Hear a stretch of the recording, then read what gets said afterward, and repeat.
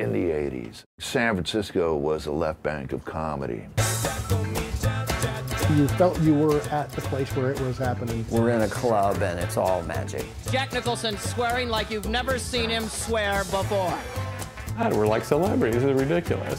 Fall is in the air, and like you, I think my thoughts turn to death. San Francisco has always treated stand-up comedy as an art form. Felt like you could try anything. Is my lipstick on? We were little rock stars in, in this town. Thanks for coming. You've been doing something great. Thank you.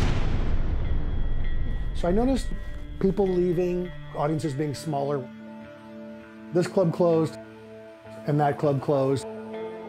Everything kind of went whoa and collapsed, a bit like a comedic recession. They definitely look like guys with a big future. And it just wasn't fun anymore to perform because they're not there to see it. They're, they're just babysitting them so they can drink beers, and I said, fuck it. My life sucks. The world hates me. I'm living in a cartoon. I'm growing my fingernails extra long just so I can hang on to the edge right there and not slip off.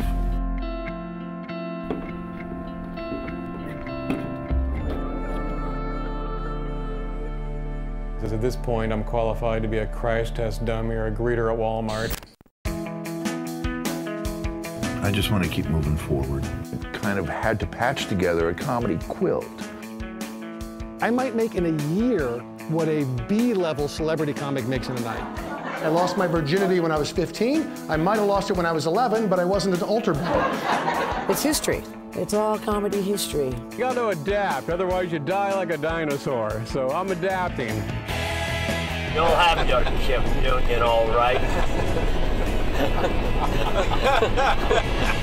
We're in Grass Valley, Medford, Oregon, Redding, and now Modesto. I'm nervous. That's funny. I love to get up there on stage. I'm optimistic for the first time in years. It's better than anything. It's better than sex, better than drugs, better than family. It's better than chocolate fudge. It's, it's ah.